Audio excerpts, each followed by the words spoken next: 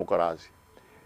¿Qué ocurre? Cuando el presidente de la República planteó, en el cuando le plantearon al presidente en el 2022 que se repostulara, nosotros le solicitamos el 7 de enero en un restaurante de la capital, una rueda de prensa, que el presidente no aceptara eso, que no cayera en esos lazos, que hiciera su trabajo y que esperara julio del 2023 para que se decidiera como decía la ley.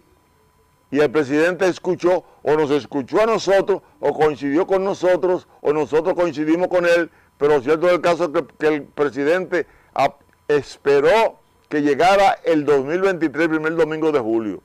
Y eso lo agradecemos. Y eso nos manda una señal de que es un presidente que tiene un criterio ético de su paso por el poder. Y lo confirma cuando él, al otro día de ser electo, dice que él no va a ser el presidente más. Y nosotros queremos decirle al país que creemos que va a ser así. El presidente tiene una concesión ética, demostrada inclusive cuando le ha dado independencia al Ministerio Público para que persiga la corrupción.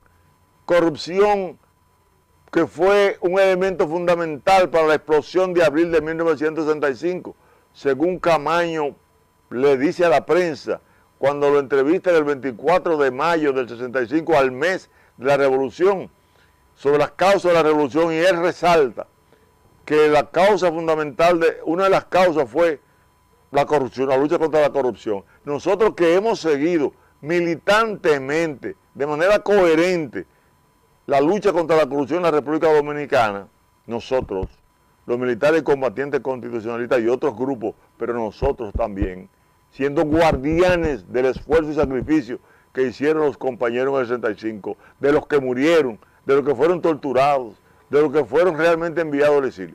Hoy nosotros creemos que el presidente con decir que no va, y nosotros creer que no va, le va a hacer un gran aporte a la República Dominicana. Pero al mismo tiempo entendemos que cuando él habla de poner un candado a la Constitución, el candado se lo está poniendo él cuando dice que no va a seguir.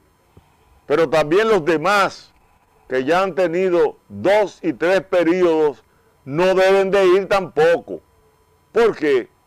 Porque cuando decimos que le vamos a poner un candado a eso, le estamos abriendo el candado que le tienen a la base le vamos a dar a la base la oportunidad de que se expresen, de que se eduquen y que se le dé cumplimiento al artículo 216 de la Constitución, cuando establece que los partidos pueden y movimientos pueden eh, ser reconocidos eh, libremente, pero con sujeción al respeto a la democracia y la transparencia, que no lo tienen. Entonces no tenemos por qué seguir eh, pensando en que los que ya fueron presidentes tantas veces y que formaron o permitieron la formación de grandes grupos económicos a lo interno, que son los que están buscando la manera de que ellos se relijan para encubrir muchos de ellos toda la riqueza que obtuvieron cuestionable, para encubrirla o para seguir teniendo más recursos, porque los partidos y los dirigentes políticos han entendido que la política se hizo como un negocio donde salgan favorecidos los líderes políticos, no. La política está diseñada para administrar, redistribuir los recursos de los pueblos, de manera que le lleguen a todos sectores. Y esa reforma fiscal tiene que tender a hacer realmente que la República Dominicana haga un diagnóstico de la crisis fiscal que puede haber y de la liberación que puede haber de un pueblo donde todo el mundo paga sus impuestos, pero donde los políticos ninguno se los roben. Es el candado que hay que poner. Entonces, nosotros entendemos que, por ejemplo, si el artículo 268 de la Constitución de la República se modificara o se le agregara un punto que no tiene un solo, que es que el gobierno de la República Dominicana tiene que ser, no se puede hacer reforma donde se toque que el gobierno no sea civil, republicano, democrático y representativo. Ninguna reforma constitucional puede versar, puede cambiar eso. Pero hay que agregarle un segundo, y es que ningún presidente ningún ninguna persona que haya sido presidente dos o tres veces, incluyendo el presidente de la República, deben volver a ser presidente. Ahí vamos a abrir la puerta a que muchos dirigentes de los, de los, diferentes, de, los diferentes partidos puedan ser candidatos y el pueblo pueda conocer y puedan, deban hacer programas.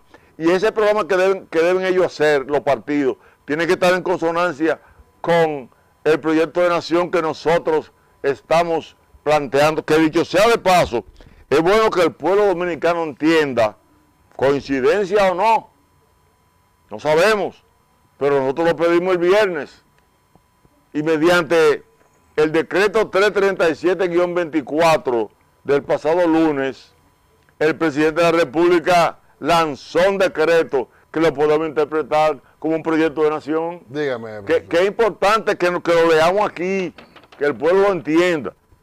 El presidente de la República, Luis Abinader, emitió este lunes 17. Nosotros hablamos el viernes 15, él estaba fuera, pero él emitió este lunes 17 de junio el decreto número 33, el decreto número 337-24, que crea la comisión presidencial denominada Comisión Meta 2036. Ese es un proyecto a largo plazo, que es lo que estamos solicitando, con el objetivo de identificar las acciones y reformas necesarias para duplicar el tamaño del Producto Interno Bruto Real Dominicano en el año 2036, así como lograr las metas establecidas en la Estrategia Nacional de Desarrollo y en la Estrategia Nacional de Competitividad. Eso para nosotros es la señal de que realmente el presidente está en sintonía con el pueblo. Porque él, viene hablando de eso y él lanza lo que nosotros entendemos o que es un comienzo o que es realmente la parte medular de lo que debe ser un proyecto de nación. A largo, a largo plazo. a 12 años. Sí, a 2036. Todos los partidos políticos tienen que referirse a eso en su programa de gobierno, cómo se va a lograr. Entonces, si nosotros le abrimos el candado a los partidos políticos, los democratizamos, le damos participación, se educan, los partidos políticos pueden tener en dos años una militancia que sepa cuáles son los hombres y mujeres que en su partido pueden asumir la posición de cumplir con esta meta y decir, bueno, vamos a hacer un programa político. independientemente cualquier sea el partido que gane, que se pueda seguir esos objetivos, de crecimiento. Claro, y que hagan un programa en función de eso, como lo establece el artículo 23, numeral 3 de la ley 33-18, que es la ley de partidos políticos.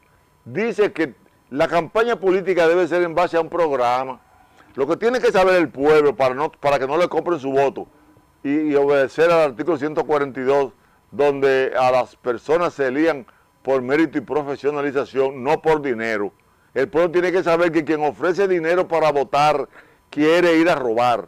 Y si quiere ir a robar no debe poder votar. El pueblo tiene que aprender eso. Ese es un trabajo que se puede hacer en los dos primeros años de, de gobierno eh, para que en el tercer año ya ese programa esté hecho y la gente lo conozca y la gente diga, ah, pero fulano de tal no puede ser presidente. Míralo ahí, el artículo 142 de la Constitución que tiene el señor director, donde habla, habla del mérito y la, profesionalización para poder ocupar cargos públicos eh, con eficiencia. Con, con eficiencia, porque nosotros hemos planteado incesantemente que la guía del proyecto de nación, la guía de los programas de los partidos políticos, la guía de una campaña política debe estar en consonancia con la Constitución, porque dice el artículo 6 que debe ser el faro de luz de la política dominicana para que el pueblo dominicano se beneficie de las acciones del gobierno, que toda persona u órgano que ejerce potestades públicas está sujeto a la Constitución, norma suprema y fundamento jurídico del Estado Dominicano. En esa dirección nosotros queremos también aclarar que la reforma que está planteando el presidente hasta ahora, nosotros entendemos que no se puede recurrir al referéndum aprobatorio. No hay, no necesidad. Porque no tocan, en lo que he oído y lo que no tengo planteado, la, el procedimiento de cómo se va a modificar la constitución, no lo toca. Al no tocarlo, no tiene que ir al referéndum aprobatorio que plantea el artículo 272 de la Constitución de la República. Nosotros entendemos que solamente basta que el presidente envíe la ley que, que, permite que se haga la reforma, la ley de reforma, diciendo cuáles son los artículos que se van a modificar. Nadie lo puede alterar porque así lo expresa la Constitución. Solamente los artículos de esa ley